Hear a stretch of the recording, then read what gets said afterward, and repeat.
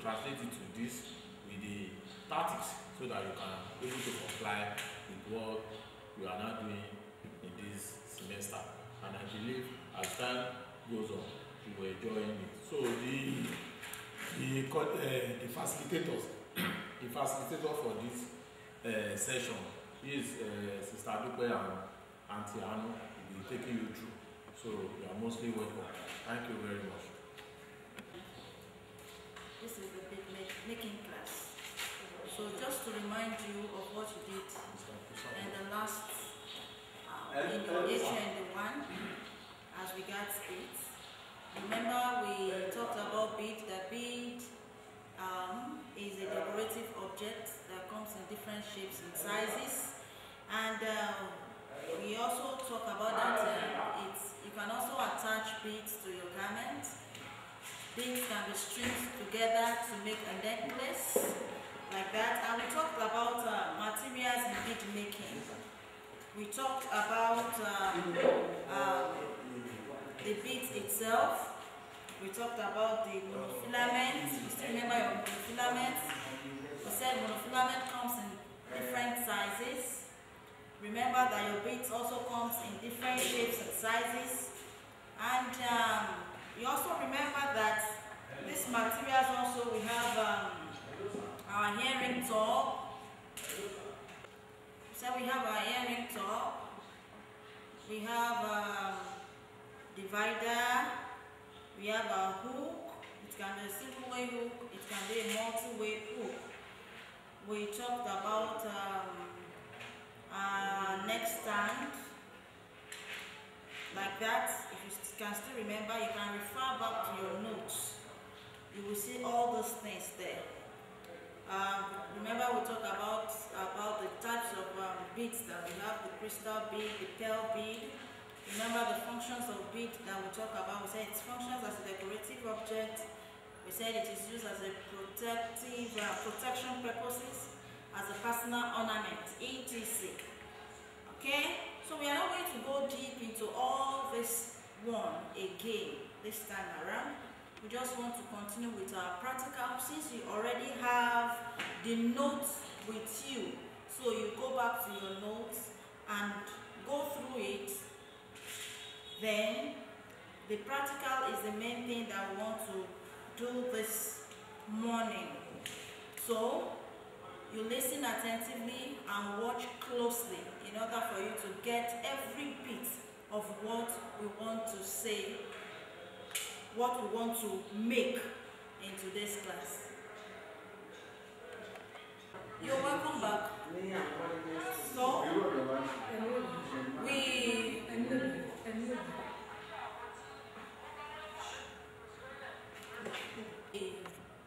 The practicals for today, for this class is, we have the beaded ball, we have ball of 12. We make ball, ball of 12, Abuja connection, Caribbean, under box with brooch, that is um, multi-layers, under box with brooch, then four-way spiral. So those are the um, practicals that I want to do today. So to start with, we are going to start with um, Abuja connection.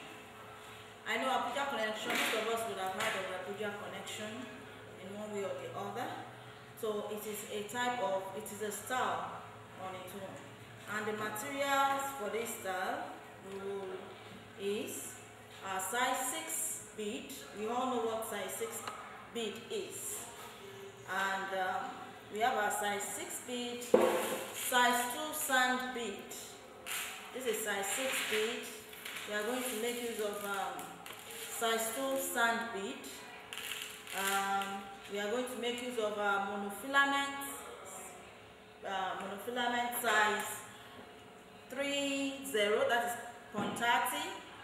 We are going to make use of a uh, size 30.30 as a fishing, as a monofilament or fishing line. We are going to make use of our needle needle. We are going to make use of our needle and um, we are going to make use of our hook.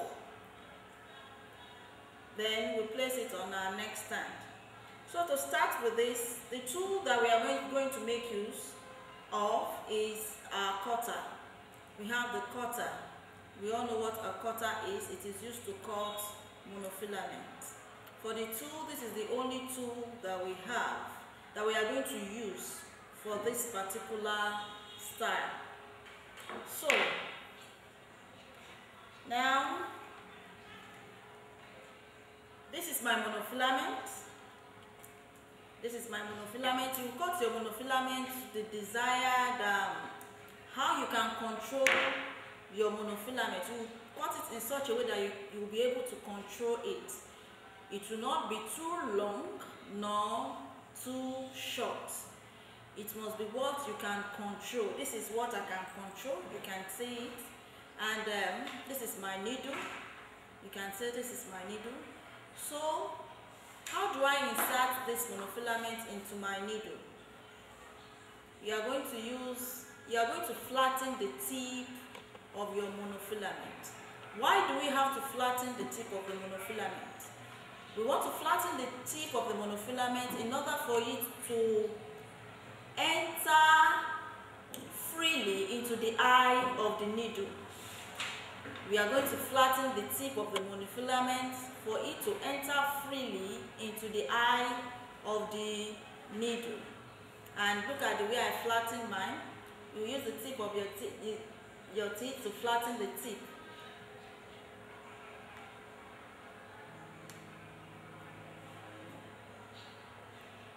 You can, without the you can also make use of your tool as well to flatten. You just press it against it. You press, if you have your flat nose with you, you all remember your flat nose. We use it to press. You can press the tip of your monofilament with it.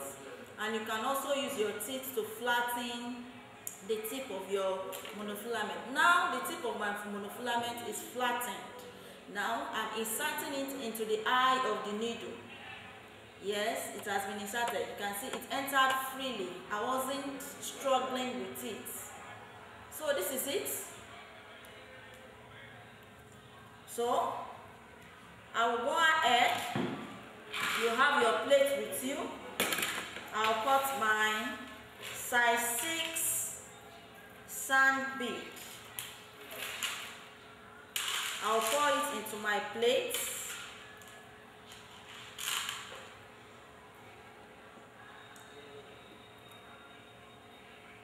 Then when you look at the monofilament that I'm holding, a tip, the end of the monofilament, there is no needle yet. And the other end, there is needle. The other end where there is no needle, you are going to insert size 6, one size 6 bead, one size 2 another size 6,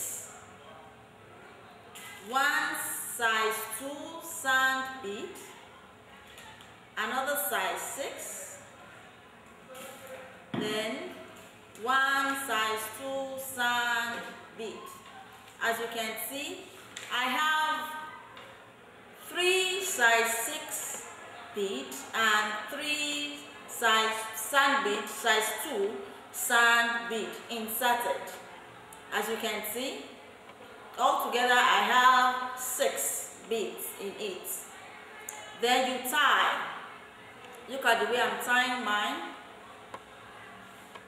you tie it you tie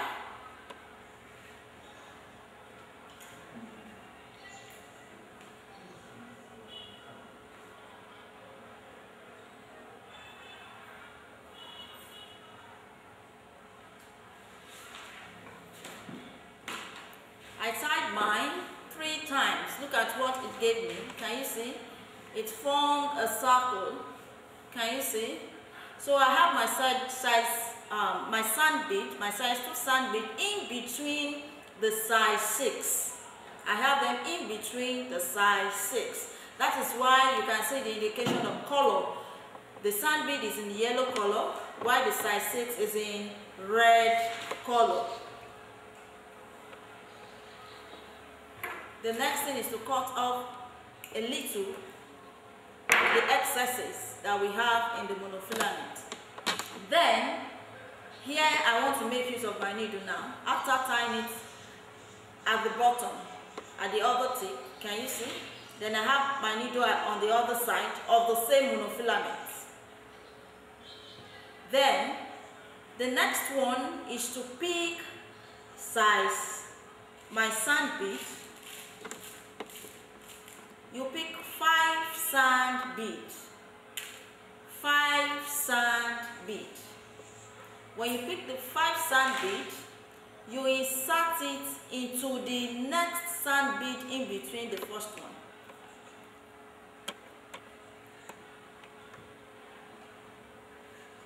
when you pick five sand bead you insert it into the next sand bead you pick five sand bead insert it into the next sand bead i'll pick another five sand bead and insert it again into the next sand bead i'll pick another five sand bead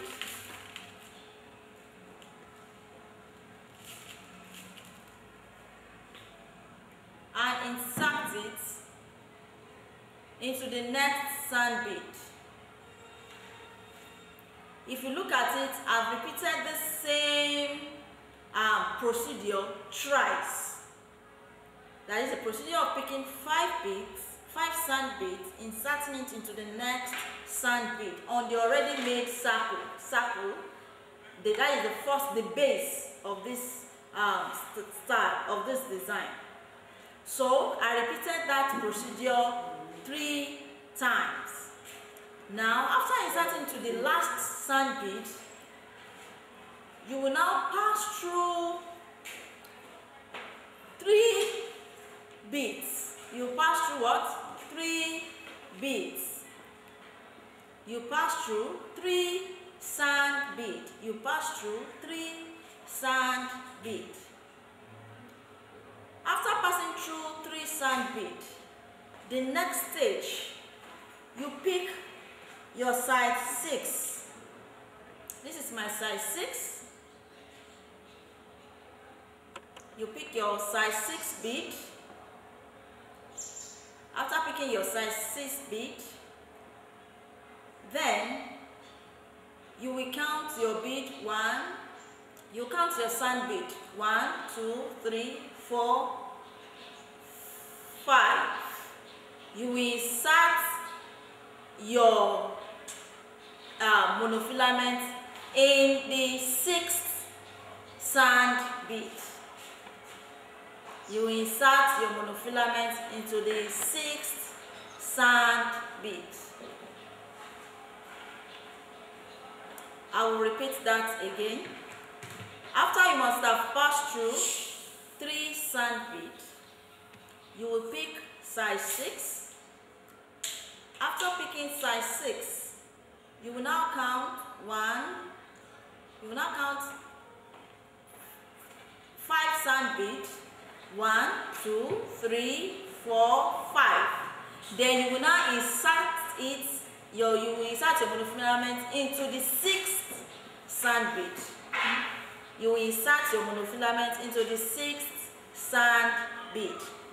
Then you pick another one. You count the same thing. One, two, three, four, five. Then you insert it into the sixth sand bead.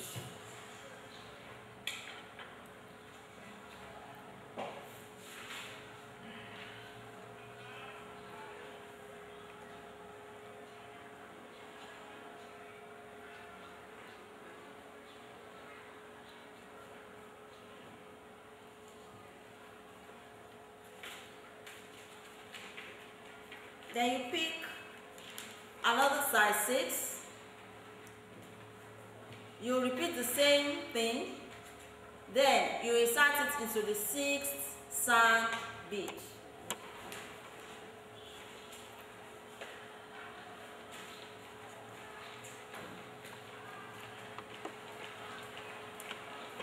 Then to continue, you pick five, another five size 2 sand bead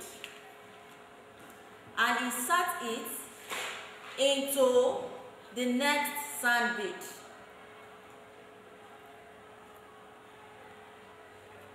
You pick 5 beads again. Insert it into the next sand bit. You pick 5 beads, another 5 beads. insert it into the next bit.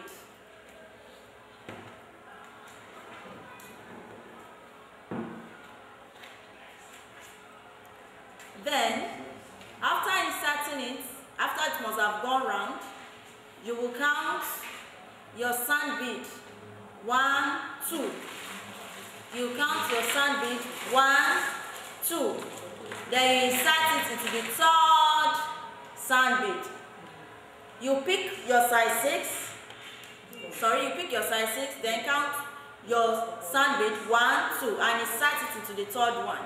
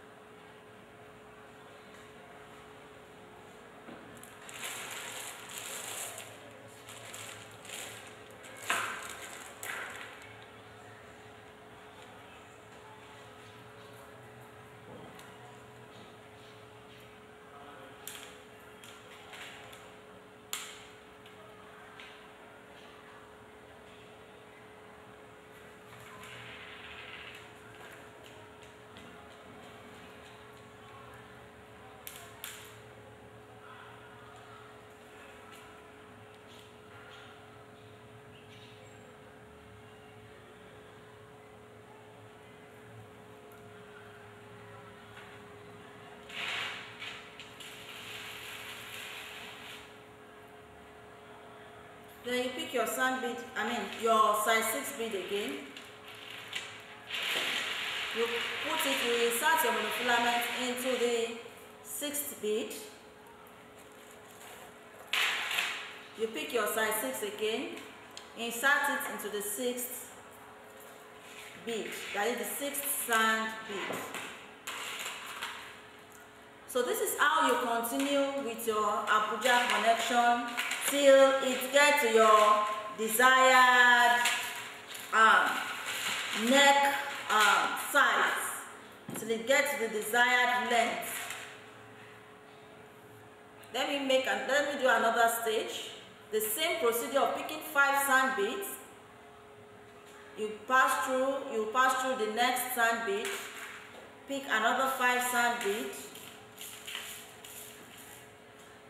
You will repeat this same procedure over and over again till it gets to your desired length. You insert into the next sand bead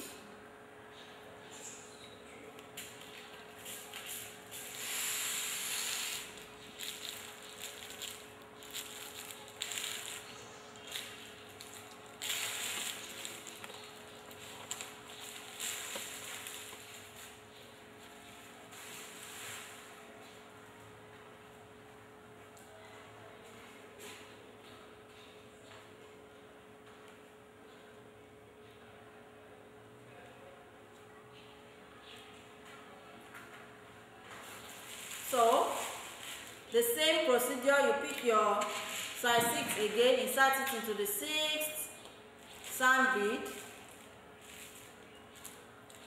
Pick another size 6, insert it into the 6th, 6 sand bead. Another size 6, insert it into the 6th sand bead.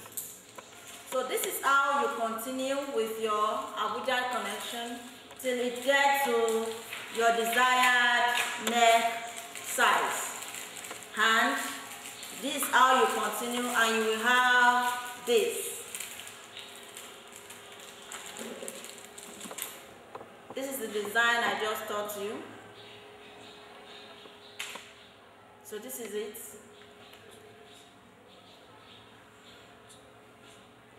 So this is what we call Abuja connection. Then I will place it on my neck stand.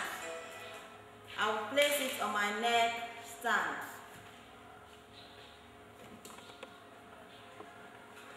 So this is it. This is what we call Abuja connection. When you have gotten to your desired neck stand, neck size, you insert your hook insert your hook in order for it to stay on the neck this is your hook can you see that